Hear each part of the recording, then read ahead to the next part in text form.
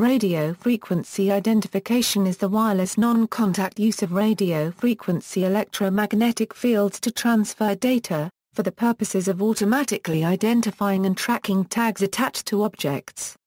The tags contain electronically stored information. Some tags are powered by and read at short ranges via magnetic fields.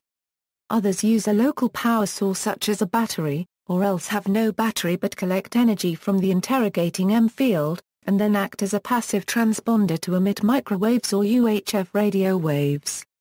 Battery-powered tags may operate at hundreds of meters. Unlike a barcode, the tag does not necessarily need to be within line of sight of the reader, and may be embedded in the tracked object. Radio frequency identification is part of the family of automatic identification and data capture technologies that includes 1D and 2D barcodes.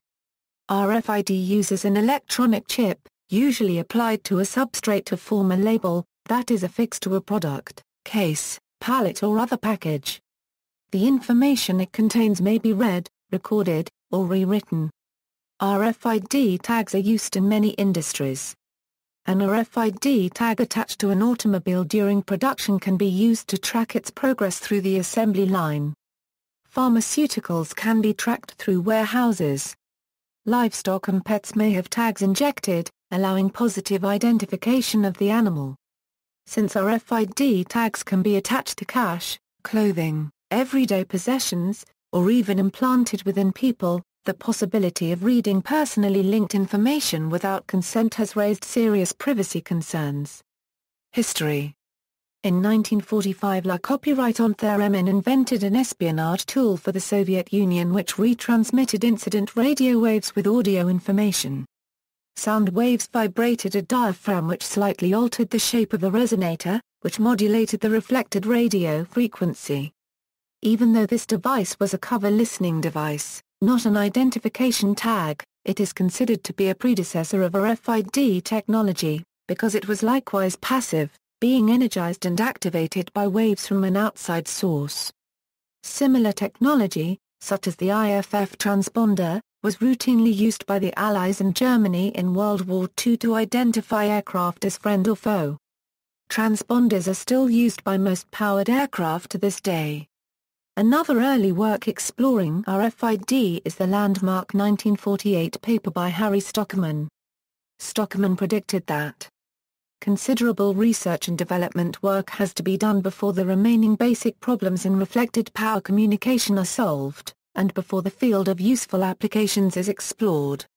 Mario Cardullo's device, patented on January 23, 1973, was the first true ancestor of modern RFID, as it was a passive radio transponder with memory.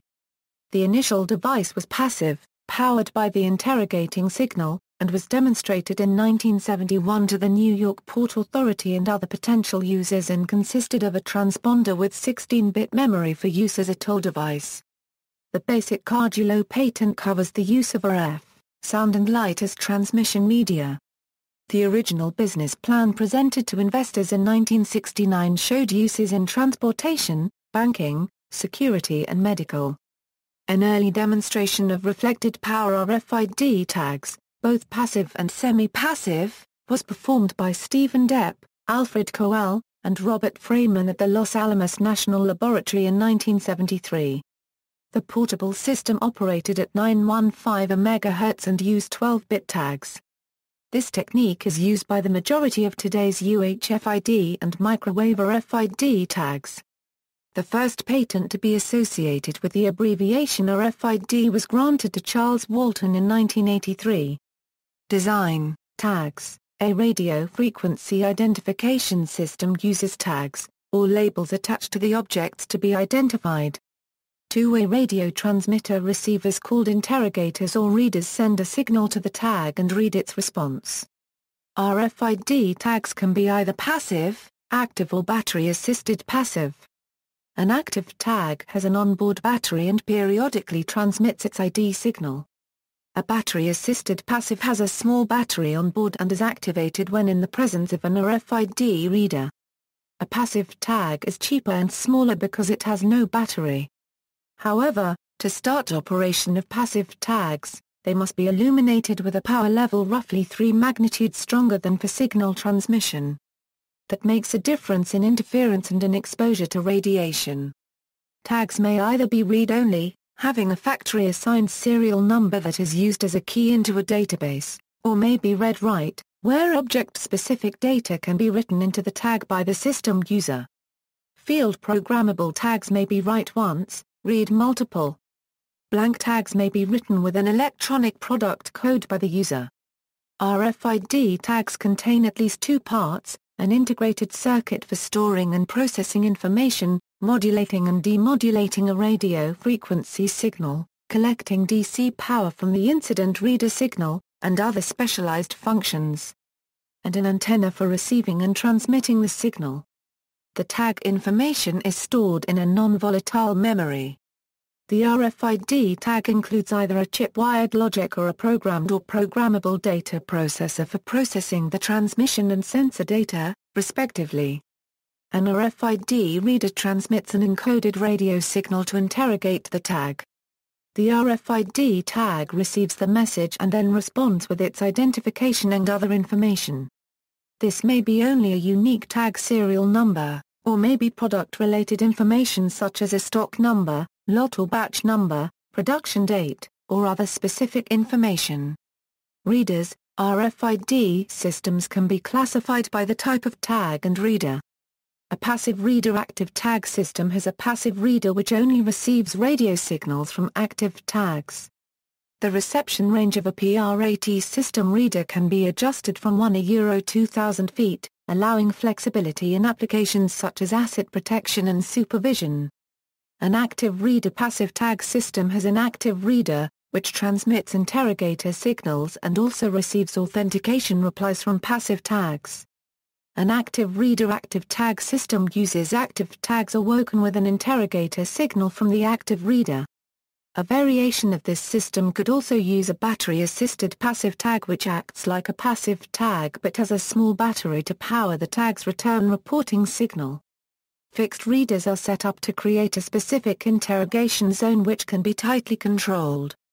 This allows a highly defined reading area for when tags go in and out of the interrogation zone. Mobile readers may be handheld or mounted on carts or vehicles.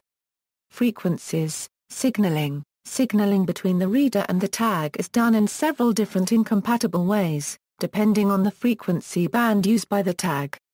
Tags operating on LF and HF bands are, in terms of radio wavelength, very close to the reader antenna because they are only a small percentage of a wavelength away. In this near-field region, the tag is closely coupled electrically with the transmitter and the reader. The tag can modulate the field produced by the reader by changing the electrical loading the tag represents. By switching between lower and higher relative loads, the tag produces a change that the reader can detect. At UHF and higher frequencies, the tag is more than one radio wavelength away from the reader, requiring a different approach. The tag can backscatter a signal. Active tags may contain functionally separated transmitters and receivers, and the tag need not respond on a frequency related to the reader's interrogation signal. An electronic product code is one common type of data stored in a tag. When written into the tag by an RFID printer, the tag contains a 96-bit string of data. The first 8 bits are a header which identifies the version of the protocol. The next 28 bits identify the organization that manages the data for this tag. The organization number is assigned by the EPCglobal Consortium. The next 24 bits are an object class, identifying the kind of product. The last 36 bits are a unique serial number for a particular tag. These last two fields are set by the organization that issued the tag. Rather like a URL, the total electronic product code number can be used as a key into a global database to uniquely identify a particular product. Often more than one tag will respond to a tag reader, for example, many individual products with tags may be shipped in a common box or on a common pallet. Collision detection is important to allow reading of data. Two different types of protocols are used to singulate a particular tag, allowing its data to be read in the midst of many similar tags. In a slotted Aloha system, the reader broadcasts an initialization command and a parameter that the tags individually use to pseudo-randomly delay their responses. When using an adaptive binary tree protocol, the reader sends an initialization symbol and then transmits one bit of ID data at a time. Only tags with matching bits respond, and eventually only one tag matches the complete ID string. Both methods have drawbacks when used with many tags or with multiple overlapping readers. Bulk reading is a strategy for interrogating multiple tags at the same time, but lacks sufficient precision for inventory control. Miniaturization RFIDs are easy to conceal or incorporate in other items. For example, in 2009 researchers at Bristol University successfully glued RFID microtransponders to live ants in order to study their behavior. This trend towards increasingly miniaturized RFIDs is likely to continue as technology advances. Hitachi holds the record for the smallest RFID chip, at 0.05 mm a 0.05 mm. This is 1 64th the size of the previous record holder, the Mu chip. Manufacture is enabled by using the silicon-on-insulator process. These dust-sized chips can store 38-digit numbers using 128-bit read-only memory. A major challenge is the attachment of antennas, thus limiting read range to only millimeters. Uses the RFID tag can be affixed to an object and used to track and manage inventory, assets, people, etc. For example, it can be affixed to cars, computer equipment, books, mobile phones, etc. RFID offers advantages over manual systems or use of barcodes. The tag can be read if passed near a reader, even if it is covered by the object or not visible.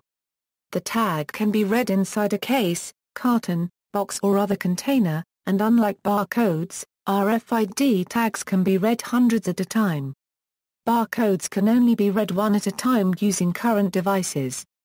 In 2011, the cost of passive tags started at 9 cents each. Special tags, meant to be mounted on metal or withstand gamma sterilization, can go up to 5 US dollars. Active tags for tracking containers, medical assets, or monitoring environmental conditions in data centers start at 50 US dollars and can go up over 100 US dollars each. Battery-assisted passive tags are in the 3 US dollars a Euro 10 range and also have sensor capability like temperature and humidity. RFID can be used in a variety of applications, such as access management, tracking of goods, tracking of persons and animals, toll collection and contactless payment machine-readable travel documents, smart dust, tracking sports memorabilia to verify authenticity, airport baggage tracking logistics, timing sporting events. In 2010 three key factors drove a significant increase in RFID usage, decreased cost of equipment and tags, increased performance to a reliability of 99.9% and a stable international standard around UHF passive RFID. The adoption of these standards were driven by EP Global, a joint venture between GS1 and GS1 US, which were responsible for driving global adoption of the barcode in the 1970s and 1980s. The EPCglobal Network was developed by the Auto ID Center, an academic research project headquartered at the Massachusetts Institute of Technology with labs at five leading research universities around the globe, Cambridge, Adelaide, Keio, Shanghai, Fudan, St. Gallen. At RFID Journal Live 2010 in Orlando, Airbus detailed 16 active projects, IBM and a Euro most recently added to the team a Euro CSC. The two other areas of significant use are financial services for IT asset tracking and healthcare. RFID is becoming increasingly prevalent as the price of the technology decreases. Commerce the value of the RFID market in 2012 was projected to be 7.46 billion US dollars versus 6.37 billion US dollars in 2011. The RFID world market is estimated to surpass 20 billion US dollars by 2014. Payment by mobile phones Since summer 2009, two credit card companies have been working with Dallas, Texas-based Device Fidelity to develop specialized microSD cards when inserted into a mobile phone, the microSD card can be both a passive tag and an RFID reader. After inserting the microSD, a user's phone can be linked to bank accounts and used in mobile payment. Dairy Queen in conjunction with Vivotech has also begun using RFIDs on mobile phones as part of their new loyalty and rewards program. Patrons can ask to receive an RFID tag to place on their phone. After activation, the phone can receive promotions and coupons, which can be read by Vivotech's specialized near-field communication devices. Similarly, 7-Eleven has been working alongside MasterCard to promote a new touch-free payment system.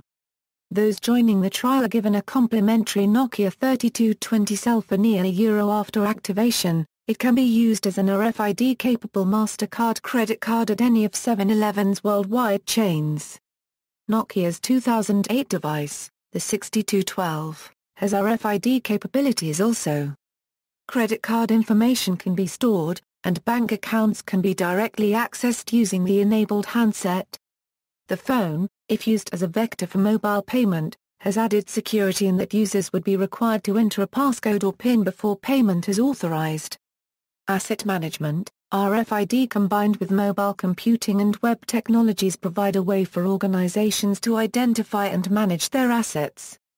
Mobile computers, with integrated RFID readers, can now deliver a complete set of tools that eliminate paperwork, give proof of identification and attendance. This approach eliminates manual data entry. Web-based management tools allow organizations to monitor their assets and make management decisions from anywhere in the world. Web-based applications now mean that third parties, such as manufacturers and contractors can be granted access to update asset data, including for example, inspection history and transfer documentation online ensuring that the end user always has accurate, real-time data. Organizations are already using RFID tags combined with a mobile asset management solution to record and monitor the location of their assets, their current status, and whether they have been maintained. RFID is being adopted for item-level retail uses. Aside from efficiency and product availability gains, the system offers a superior form of electronic article surveillance, and a superior self-checkout process for consumers. 2009 witnessed the beginning of wide-scale asset tracking with passive RFID. Wells Fargo and Bank of America made announcements that they would track every item in their data centers using passive RFID. Most of the leading banks have since followed suit. The Financial Services Technology Consortium set a technical standard for tagging IT assets and other industries have used that standard as a guideline. For instance the United States Department of State is now tagging IT assets with passive RFID using the ISO IEC 18000-6 standard. Inventory systems, an advanced automatic identification technology based on RFID technology has significant value for inventory systems. The system can provide accurate knowledge of the current inventory. In an academic study performed at Walmart, RFID reduced out of stocks by 30% for products selling between 0.1 and 15 units a day. The RFID can also help the company to ensure the security of the inventory. With the just-in-time tracking of inventory through RFID, the computer data can show whether the inventory stored in the warehouse is correct with quantity currently. Other benefits of using RFID include the reduction of labor costs, the simplification of business processes, and the reduction of inventory inaccuracies. In 2004, Boeing integrated the use of RFID technology to help reduce maintenance and inventory costs on the Boeing 787 Dreamliner. With the high costs of aircraft parts, RFID technology allowed Boeing to keep track of inventory despite the unique sizes, shapes and environmental concerns. During the first six months after integration, the company was able to save $29,000 in labor, Airbus began an RFID program in 2006 that received the 2008 Best RFID Deployment Award at the RFID Journal Live event. In 2007, Recall Corporation integrated the use of RFID to help organizations track and audit their records, to support compliance with regulations such as the Sarbanes-Oxley Act and HIPAA, product tracking, RFID use in product tracking applications begins with plant-based production processes, and then extends into post-sales configuration management policies for large buyers. In 2005, the Wynn Casino, Las Vegas, began placing individual RFID tags on high-value chips. These tags allowed casinos the ability to detect counterfeit chips, track betting habits of individual players, speed up chip tallies, and determine counting mistakes of dealers. In 2010, the Bellagio Casino was robbed of $1.50 million in chips. The RFID tags of these chips were immediately invalidated, thus making the cash value of these chips $0. RFID can also be used for supply chain management in the fashion industry. The RFID label is attached to the garment at production, can be read traced throughout the entire supply chain and is removed at the point of sale. Access control RFID tags are widely used in identification badges, replacing earlier magnetic stripe cards. These badges need only be held within a certain distance of the reader to authenticate the holder. Tags can also be placed on vehicles, which can be read at a distance, to allow entrance to controlled areas without having to stop the vehicle and present a card or enter an access code. Social media In 2010 Vail Resorts began the Epic Mix program to allow skiers to earn virtual badges, compete for vertical feet skied and other milestones using UHF passive or RFID tags and ski passes. The Epic Mix system not only allowed automated social sharing and capturing of ski data but also streamlined the verification process which used to be performed by using a barcode and line-of-sight scanner. Soon other brands began adopting this method and in 2013 it has become a growing area of use for RFID. Facebook is using RFID cards at most of their live events to allow guests to automatically capture and post photos. The automotive brands have adopted RFID for social media product placement more quickly than other industries. Mercedes was an early adopted in 2011 at the PGA Golf Championships, and by the 2013 Geneva Motor Show many of the larger brands were using RFID for social media marketing. Promotion tracking, to prevent retailers diverting products, manufacturers are exploring the use of RFID tags on promoted merchandise so that they can track exactly which product has sold through the supply chain at fully discounted prices.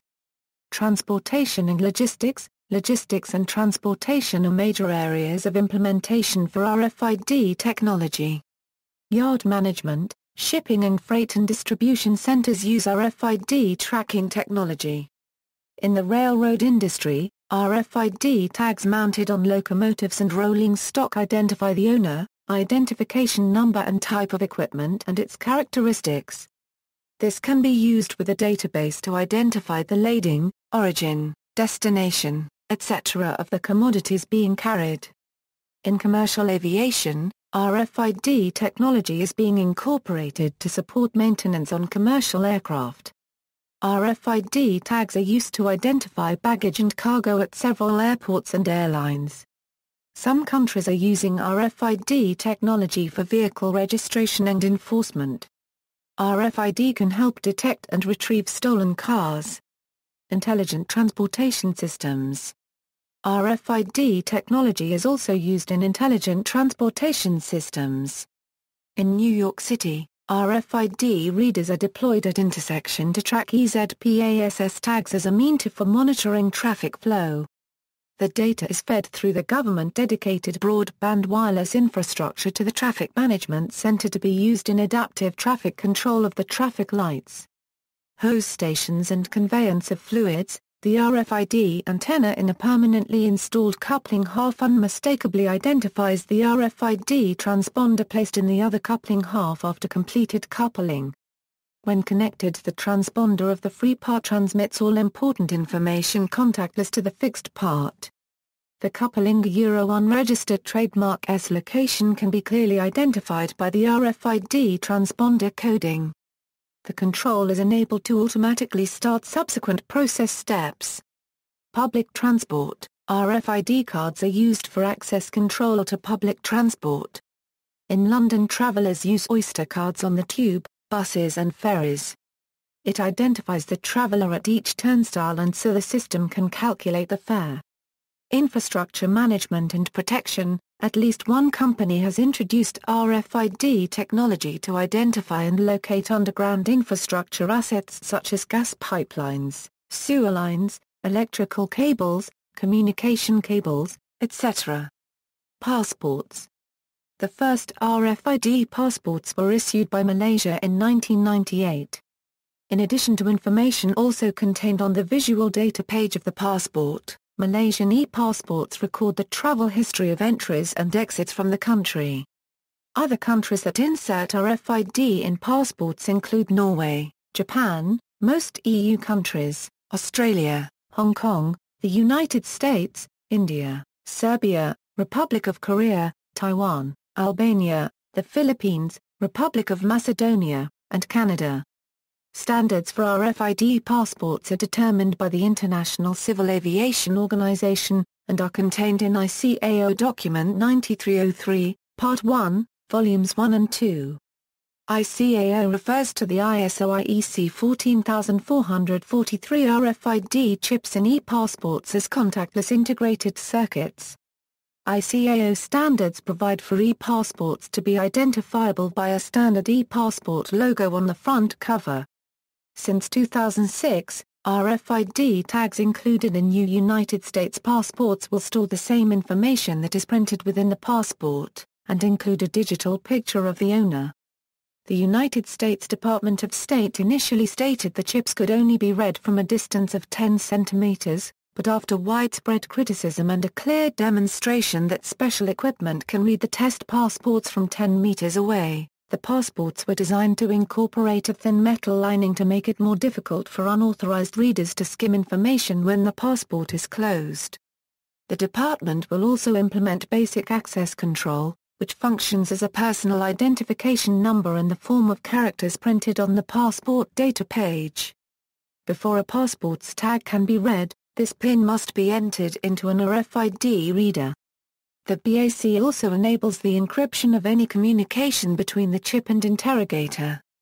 Transportation payments In many countries, RFID tags can be used to pay for mass transit fares on bus, trains, or subways, or to collect tolls on highways. Some bike lockers are operated with RFID cards assigned to individual users. A prepaid card is required to open or enter a facility or locker and is used to track and charge based on how long the bike is parked. The Zipcar car sharing service uses RFID cards for locking and unlocking cars and for member identification.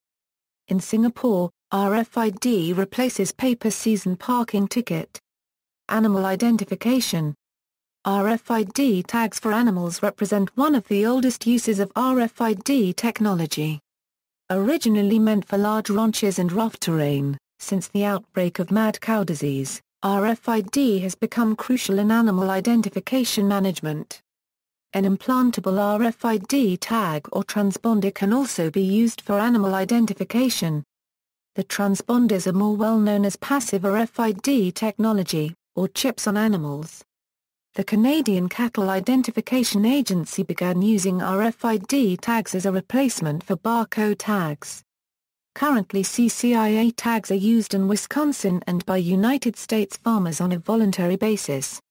The USDA is currently developing its own program. RFID tags are required for all cattle, sheep and goats sold in Australia. Human identification Implantable RFID chips designed for animal tagging are now being used in humans. An early experiment with RFID implants was conducted by British professor of cybernetics Kevin Warwick, who implanted a chip in his arm in 1998. In 2004 Conrad Chase offered implanted chips in his nightclubs in Barcelona and Rotterdam to identify their VIP customers, who in turn use it to pay for drinks. The Food and Drug Administration in the United States has approved the use of RFID chips in humans. Some business establishments give customers the option of using an RFID-based tab to pay for service, such as the Baja Beach nightclub in Barcelona. This has provoked concerns into privacy of individuals as they can potentially be tracked wherever they go by an identifier unique to them. There are concerns this could lead to abuse by an authoritarian government, to removal of freedoms, and to the emergence of the ultimate panopticon, a society where all citizens behave in a socially accepted manner because others might be watching. On July 22, 2006, Reuters reported that two hackers, Newitz and Westhues, at a conference in New York City showed that they could clone the RFID signal from a human-implanted RFID chip, showing that the chip is not hack-proof as was previously claimed. Privacy advocates have protested against implantable RFID chips, warning of potential abuse. There is much controversy regarding human applications of this technology and many conspiracy theories abound in relation to human applications, especially one of which is referred to as the mark of the beast in some religious circles. Institutions, hospitals and healthcare, adoption of RFID in the medical industry has been widespread and very effective. Hospitals are among the first users to combine both active and passive RFID technology. Many successful deployments in the healthcare industry have been cited where active technology tracks high-value, or frequently moved items, where passive technology tracks smaller, lower-cost items that only need room-level identification.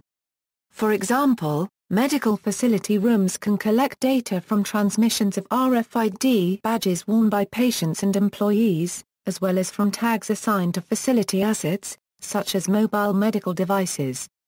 The U.S. Department of Veterans Affairs recently announced plans to deploy RFID in hospitals across America to improve care and reduce costs. A physical RFID tag may be incorporated with browser-based software to increase its efficacy. This software allows for different groups or specific hospital staff, nurses, and patients to see real-time data relevant to each piece of tracked equipment or personnel. Real-time data is stored and archived to make use of historical reporting functionality and to prove compliance with various industry regulations. This combination of RFID real-time locating system hardware and software provides a powerful data collection tool for facilities seeking to improve operational efficiency and reduce costs.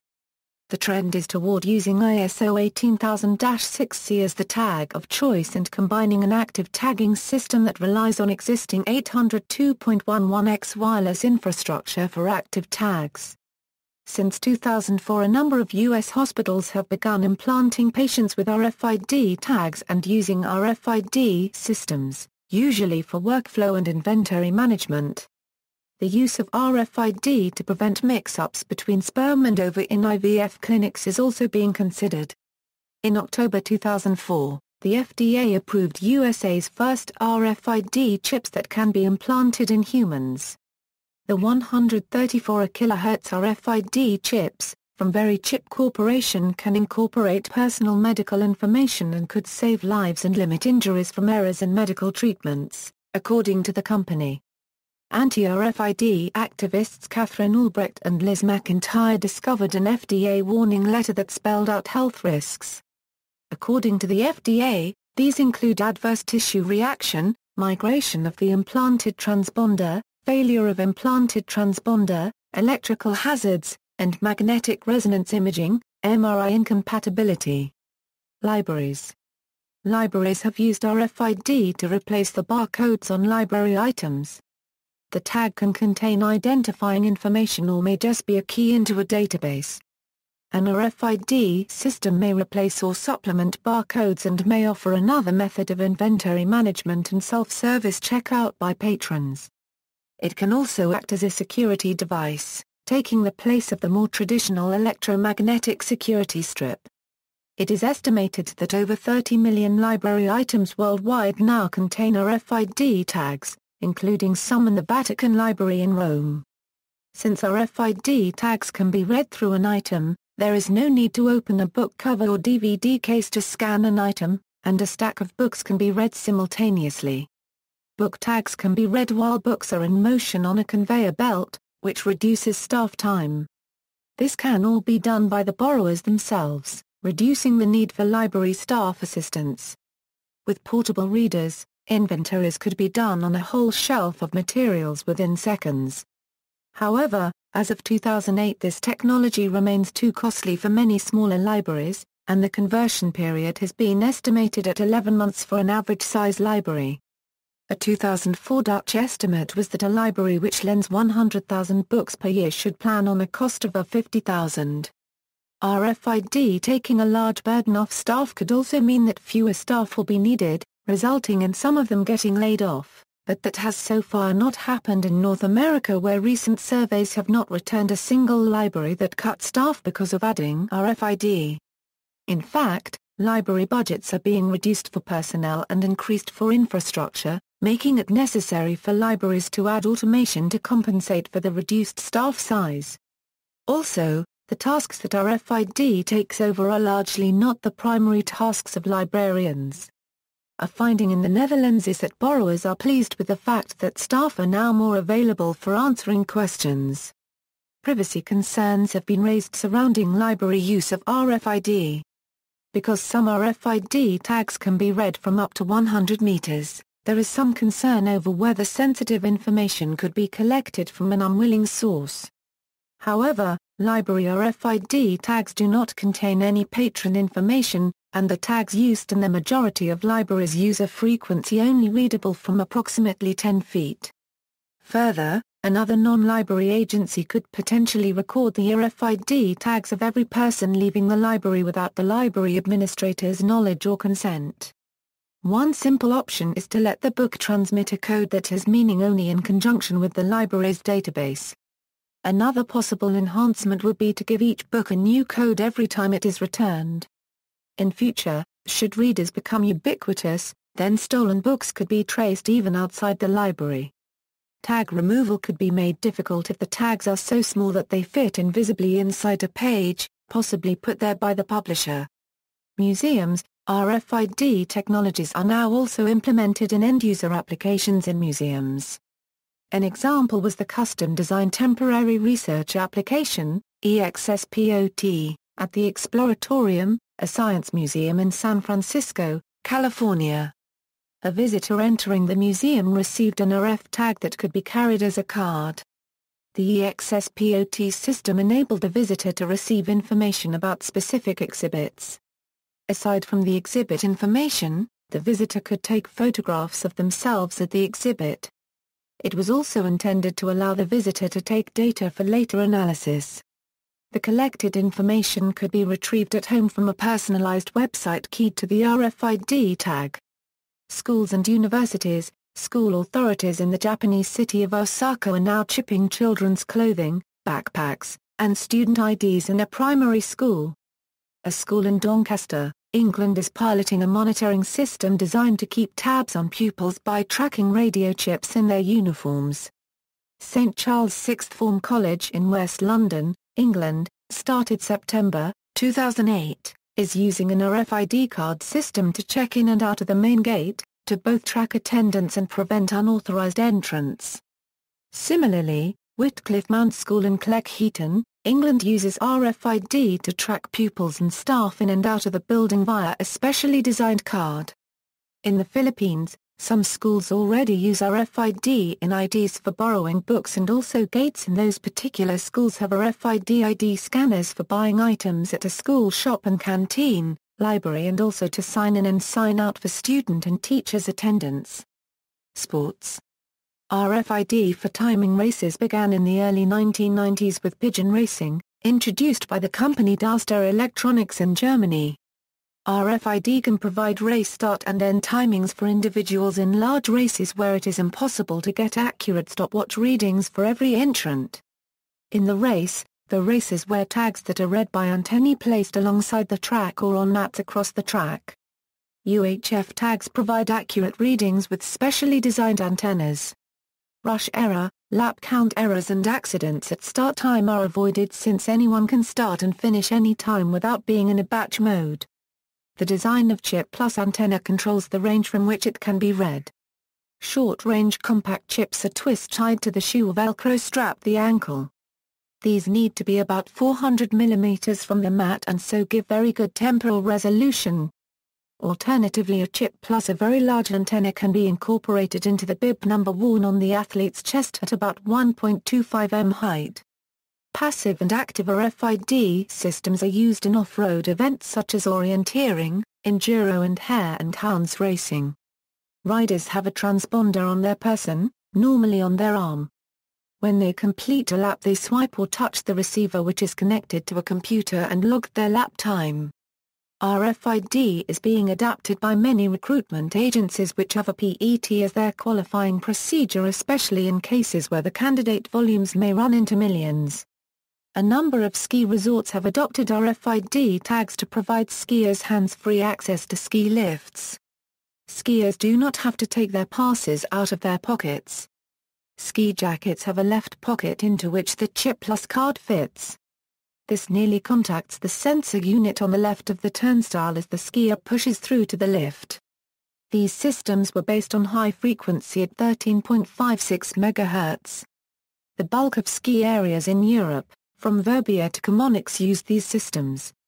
Complement to barcode, RFID tags are often a complement, but not a substitute, for UPC or EAN barcodes.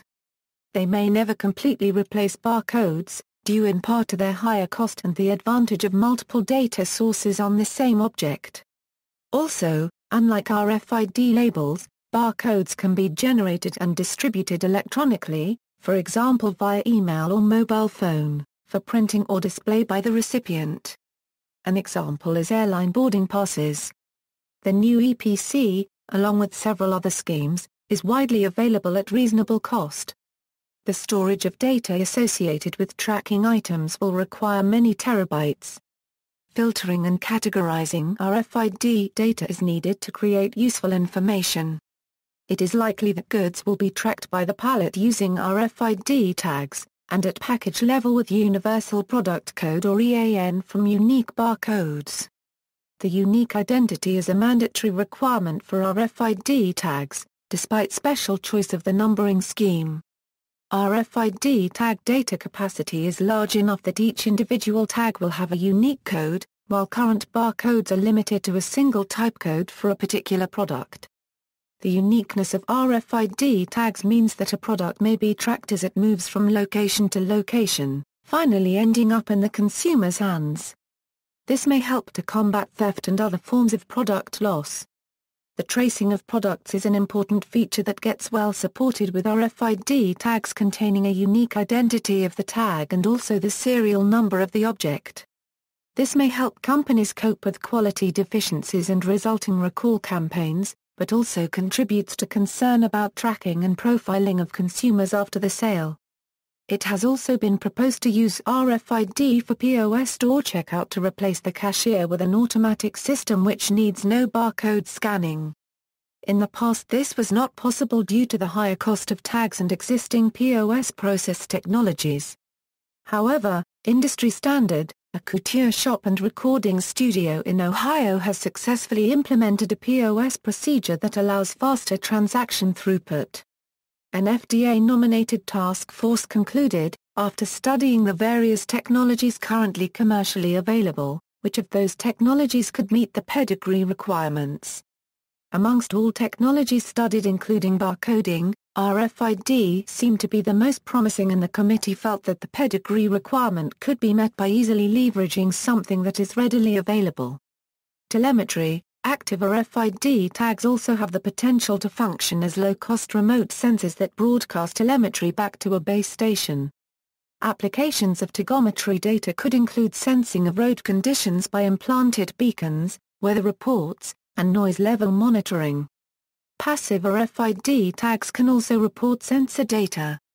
For example, the Wireless Identification and Sensing Platform is a passive tag that reports temperature, acceleration and capacitance to commercial Gen 2 RFID readers. It is possible that active or battery-assisted passive RFID tags, used with or in place of barcodes, could broadcast a signal to an in-store receiver to determine whether the RFID tag is in the store. Mandates Walmart and the United States Department of Defense have published requirements that their vendors place RFID tags on all shipments to improve supply chain management. Due to the size of these two organizations, their RFID mandates impact thousands of companies worldwide. The deadlines have been extended several times because many vendors face significant difficulties implementing RFID systems. In practice, the successful read rates currently run only 80%, due to radio wave attenuation caused by the products and packaging. In time it is expected that even small companies will be able to place RFID tags on their outbound shipments. Walmart In January 2005, Walmart required its top 100 suppliers to apply RFID labels to all shipments. To meet this requirement, vendors use RFID printer encoders to label cases and pallets that require EPC tags for Walmart. These smart labels are produced by embedding RFID inlays inside the label material, and then printing barcode and other visible information on the surface of the label.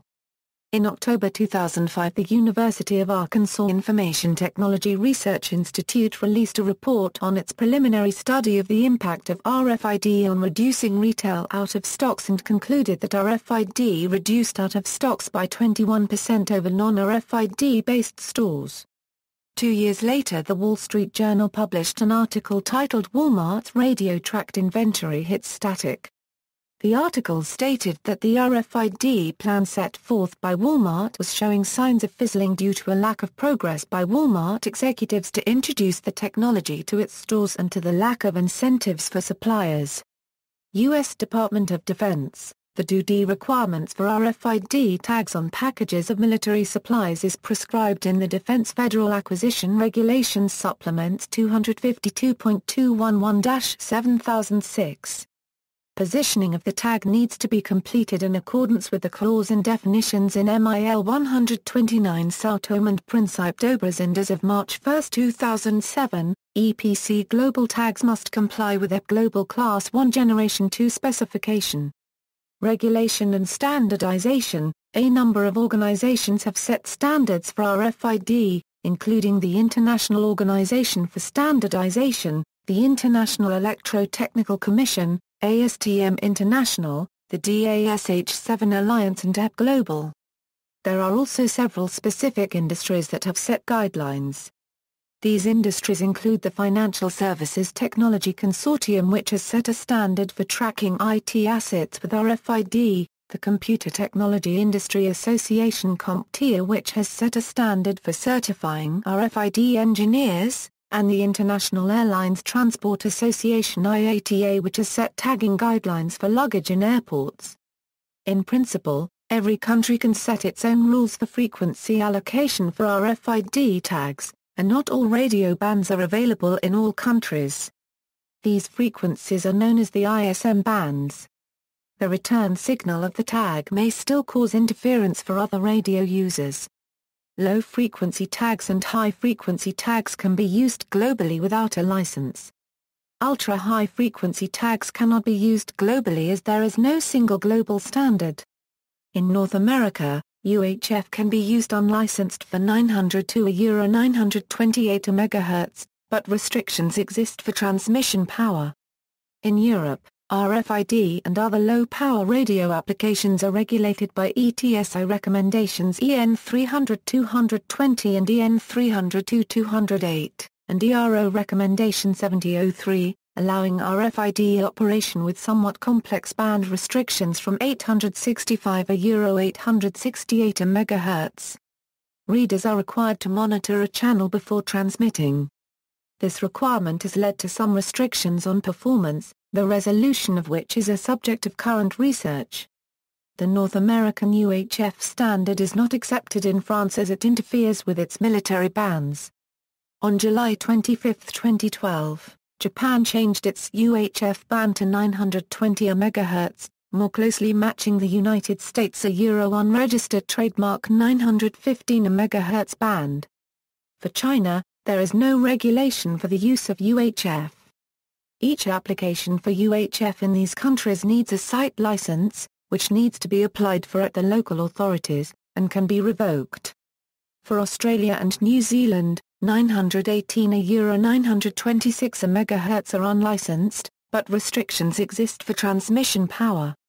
Standards that have been made regarding RFID technology include ISO 14223 a euro radio frequency, SIG identification of animals a euro advanced transponders, ISO IEC 14443, This standard is a popular HF standard for high FIDs which is being used as the basis of RFID-enabled passports under ICAO 9303. The Near-Field Communication Standard that lets mobile devices act as RFID readers transponders is also based on ISO IEC 14443. ISO IEC 15693, this is also a popular HF standard for high fields widely used for non-contact smart payment and credit cards. ISO IEC 18000, Information Technologia Euro Radio Frequency Identification for Item Management, Part 1, Reference Architecture and Definition of Parameters to be Standardized, Part 2, Parameters for Air Interface Communications below 135 kHz, Part 3, Parameters for Air Interface Communications at 13.56 MHz, Part 4, Parameters for Air Interface Communications at 2.45 GHz, Part 6, Parameters for Air Interface Communications at 860 Euro 960 MHz, Part 7, Parameters for Active Air Interface Communications at 433 MHz. ISO IEC 18092 Information Technologia Euro Telecommunications and Information Exchange between Systems a Euro Near Field Communication a Euro Interface and Protocol, ISO 18185. This is the industry standard for electronic seals or e-seals for tracking cargo containers using the 433 MHz and 2.4 GHz frequencies. ISO IEC 21481 Information Technologia Euro Telecommunications and Information Exchange between Systems a Euro Near Field Communication Interface and Protocol-2, ASTM D7434. Standard test method for determining the performance of passive radio frequency identification transponders on palletized or unitized loads, ASTM D7435. Standard test method for determining the performance of passive radio frequency identification transponders on loaded containers, ASTM D7580, Standard test method for rotary stretch wrapper method for determining the readability of passive RFID transponders on homogeneous palletized or unitized loads. ISO 28560-2 specifies encoding standards and data model to be used within libraries. In order to ensure global interoperability of products, several organizations have set up additional standards for RFID testing. These standards include conformance, performance and interoperability tests. Groups concerned with standardization are, DASH7 Alliance a Euro an international industry group formed in 2009 to promote standards and interoperability among extensions to ISO IEC 18000-7 technologies, EPCglobal Euro This is the standardization framework that is most likely to undergo international standardization according to ISO rules as with all sound standards in the world, unless residing with limited scope, as customs regulations, air traffic regulations and others. Currently the big distributors and governmental customers are pushing EPC heavily as a standard well accepted in their community, but not yet regarded as for salvation to the rest of the world.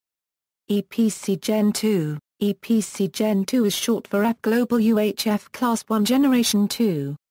EPCglobal, a joint venture between GS1 and GS1 US, is working on international standards for the use of mostly passive RFID and the electronic product code in the identification of many items in the supply chain for companies worldwide. One of the missions of EPCglobal was to simplify the babel of protocols prevalent in the RFID world in the 1990s. Two tag air interfaces were defined by EPCglobal prior to 2003. These protocols, commonly known as Class 0 and Class 1, saw significant commercial implementation in 2002 a Euro 2005. In 2004, the Hardware Action Group created a new protocol, the Class 1 Generation 2 interface, which addressed a number of problems that had been experienced with Class 0 and Class 1 tags. The EPC Gen 2 standard was approved in December 2004, this was approved after a contention from Intermec that the standard may infringe a number of their RFID-related patents. It was decided that the standard itself does not infringe their patents, making the standard royalty-free. the EPC Gen 2 standard was adopted with minor modifications as ISO 18000-6C in 2006.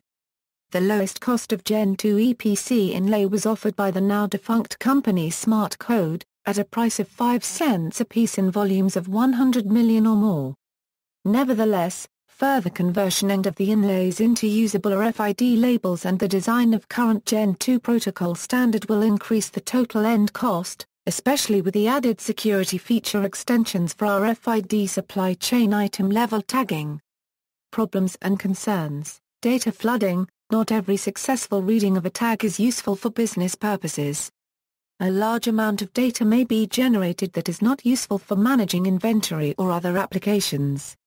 For example, a customer moving a product from one shelf to another, or a pallet load of articles that passes several readers while being moved in a warehouse, are events that do not produce data that is meaningful to an inventory control system. Event filtering is required to reduce this data inflow to a meaningful depiction of moving goods passing a threshold. Various concepts have been designed, mainly offered as middleware performing the filtering from noisy and redundant raw data to significant process data. Global standardization, the frequencies used for UHF RFID in the USA are currently incompatible with those of Europe or Japan. Furthermore, no emerging standard has yet become as universal as the barcode. To address international trade concerns, it is necessary to use a tag that is operational within all of the international frequency domains. Security concerns, retailers such as Walmart, which already heavily use RFID technology for inventory purposes, also use RFID as an anti-employee theft and anti-shoplifting technology. If a product with an active RFID tag passes the exit scanners at a Walmart outlet, not only does it set off an alarm, but it also tells security personnel exactly what product to look for in the shopper's cart. A primary RFID security concern is the illicit tracking of RFID tags. Tags, which are world-readable, pose a risk to both personal location privacy and corporate military security. Such concerns have been raised with respect to the United States Department of Defense's recent adoption of RFID tags for supply chain management. More generally, privacy organizations have expressed concerns in the context of ongoing efforts to embed electronic product code RFID tags in consumer products. This is mostly as a result of the fact that RFID tags can be read, and legitimate transactions with readers can be eavesdropped, from non-trivial distances. RFID technology used in access control, payment and EID systems operate at a shorter range than EPC RFID systems but are also vulnerable to skimming and eavesdropping, albeit at shorter distance. A second method of prevention is by using cryptography. Rolling codes and challenge response authentication are commonly used to foil monitor repetition of the messages between the tag and reader. As any messages that have been recorded would prove to be unsuccessful on repeat transmission. Rolling codes rely upon the tags at being changed after each interrogation, while CRA uses software to ask for a cryptographically coded response from the tag. The protocols used during CRA can be symmetric, or may use public key cryptography. Security concerns exist in regard to privacy over the unauthorized reading of RFID tags, as well as security concerns over server security. Unauthorized readers can use the RFID information to track the package, and so the consumer or carrier, as well as identify the contents of a package. Several prototype systems are being developed to combat unauthorized reading, including RFID signal interruption, as well as the possibility of legislation, and 700 scientific papers have been published on this matter since 2002. There are also concerns that the database structure of servers for the readers may be susceptible to infiltration, similar to denial of service attacks, after the EPCglobal Network ONS root servers were shown to be vulnerable. Exploitation, Ars Technica reported in March 2006 an RFID buffer overflow bug that could infect airport terminal RFID databases for baggage, and also passport databases to obtain confidential information on the passport holder. Passports In an effort to make passports more secure, several countries have implemented RFID in passports. However, the encryption on UK chips was broken in under 48 hours. Since that incident, further efforts have allowed researchers to clone passport data while the passport is being mailed to its owner. Where a criminal used to need to secretly open and then reseal the envelope, now it can be done without detection, adding some degree of insecurity to the passport system. Shielding, in an effort to prevent the passive a Euro or skimming a Euro of RFID-enabled cards or passports, the U.S. General Services Administration issued a set of test procedures for evaluating electromagnetically opaque sleeves. For shielding products to be in compliance with FIPS 201 guidelines, they must meet or exceed this published standard. Shielding products currently evaluated as FIPS 201 compliant are listed on the website of the U.S. SIA Euro unregistered trademark SFIPS 201 evaluation program. The United States government requires that when new ID cards are issued, they must be delivered with an approved shielding sleeve or holder. There are contradicting opinions as to whether aluminum can prevent reading of RFID chips. Some people claim that aluminum shielding, essentially creating a Faraday cage, does work. Others claim that simply wrapping an RFID card in aluminum foil only makes transmission more difficult and is not completely effective at preventing it. Shielding effectiveness depends on the frequency being used. Low-frequency low FID tags, like those used in implantable devices for humans and pets, are relatively resistant to shielding, though thick metal foil will prevent most reads. High-frequency high FID tags are sensitive to shielding and are difficult to read when within a few centimeters of a metal surface. UHF ultra-high FID tags are difficult to read when placed within a few millimeters of a metal surface, although their read range is actually increased when they are spaced to a Euro 4 a cm from a metal surface due to positive reinforcement of the reflected wave and the incident wave at the tag. Temperature exposure Currently, RFID tags are created by gluing an integrated circuit to an inlay. This poses a problem as vibration and high temperatures will loosen the connection. If the IC loses connection with the inlay, the RFID tag will no longer transmit. A new design was filed for patent where the IC is soldered to a circuit board and the circuit board is then soldered to the inlay. This process replaces the adhesive with solder which is much more durable and temperature resistant. Controversies Privacy The use of RFID technology has engendered considerable controversy and even product boycotts by consumer privacy advocates. Consumer privacy experts Katherine Albrecht and Liz McIntyre are two prominent critics of the spychip technology. The two main privacy concerns regarding RFID are, since the owner of an item will not necessarily be aware of the presence of an RFID tag and the tag can be read at a distance without the knowledge of the individual, it becomes possible to gather sensitive data about an individual without consent. If a tagged item is paid for by credit card or in conjunction with use of a loyalty card, then it would be possible to indirectly deduce the identity of the purchaser by reading the globally unique ID of that item. This is only true if the person doing the watching also had access to the loyalty card data and the credit card data, and the person with the equipment knows where you are going to be. Most concerns revolve around the fact that RFID tags affixed to products remain functional even after the products have been purchased and taken home and thus can be used for surveillance and other purposes unrelated to their supply chain inventory functions. The RFID network proved these fears to be unfounded in the premiere episode of their syndicated cable TV series by having RF engineers show how RFID technology really works. RF engineers drove an RFID-enabled van around a building and tried to take an inventory of items inside. They also explored if a passive RFID tag can be tracked from satellite.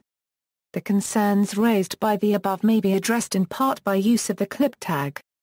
The clip tag is an RFID tag designed to increase consumer privacy. The clip tag has been suggested by IBM researchers Paul Moskowitz and Guenter Karjoth. After the point of sale, a consumer may tear off a portion of the tag. This allows the transformation of a long-range tag into a proximity tag that still may be read, but only at short range a euro less than a few inches or centimeters. the modification of the tag may be confirmed visually. The tag may still be used later for returns, recalls, or recycling. However, read range is both a function of the reader and the tag itself. Improvements in technology may increase read ranges for tags. Having readers very close to the tags makes short-range tags readable. Generally, the read range of a tag is limited to the distance from the reader over which the tag can draw enough energy from the reader field to power the tag. Tags may be read at longer ranges than they are designed for by increasing reader power. The limit on read distance then becomes the signal-to-noise ratio of the signal reflected from the tag back to the reader. Researchers at two security conferences have demonstrated that passive ultra-high FID tags normally read at ranges of up to 30 feet, can be read at ranges of 50 to 69 feet using suitable equipment. In January 2004 privacy advocates from Caspian and the German privacy group FoeBuD were invited to the Metro Future store in Germany, where an RFID pilot project was implemented. It was uncovered by accident that Metro Payback customer loyalty cards contained RFID tags with customer IDs, a fact that was disclosed neither to customers receiving the cards, nor to this group of privacy advocates. This happened despite assurances by Metro that no customer identification data was tracked and all RFID usage was clearly disclosed. During the UN World Summit on the Information Society between the 16th to November 18, 2005, founder of the Free Software Movement, Richard Stallman, protested the use of RFID security cards by covering his card with aluminum foil. In 2004 Euro 2005 the Federal Trade Commission staff conducted a workshop and review of RFID privacy concerns and issued a report recommending best practices. RFID was one of the main topics of 2006 Chaos Communication Congress and triggered a big press debate. Topics included, electronic passports, MIFARE cryptography and the tickets for the FIFA World Cup 2006. Talks showed how the first real-world mass application of RFID technology at the 2006 FIFA Soccer World Cup worked. Group Monochrom staged a special hack RFID song. Zeitgeist the movie presented RFID chips as a negative technology, theorizing that they will one day be used to track the world population and keep them under control. Government control With the rise of technology, some individuals have grown to fear the loss of rights due to RFID human implantation. By early 2007, Chris Paget of San Francisco, California, showed that RFID information can be pulled from individuals by using only $250 worth of equipment. This supports the claim that with the information captured, it would be relatively simple to make counterfeit passports. According to ZDNet, critics believe that this technology will lead to tracking individuals' every movement and will be an invasion of privacy. Some conceptualize a future where every movement is tracked by the government. In the book Spy Chips, How Major Corporations and Government Plan to Track Your Every Move by Katherine Albrecht and Liz McIntyre, one is encouraged to imagine a world of no privacy. Where your every purchase is monitored and recorded in a database and your every belonging is numbered.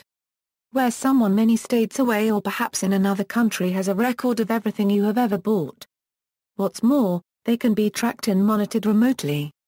Deliberate destruction in clothing and other items, according to an RSA laboratory's FAQ, RFID tags can be destroyed by a standard microwave oven. However some types of RFID tags, particularly those constructed to radiate using large metallic antennas, may catch fire if subjected to this process for too long. This simple method cannot safely be used to deactivate RFID features in electronic devices, or those implanted in living tissue, because of the risk of damage to the host. However the time required is extremely short and the method works in many other non-electronic and inanimate items long before heat or fire become of concern.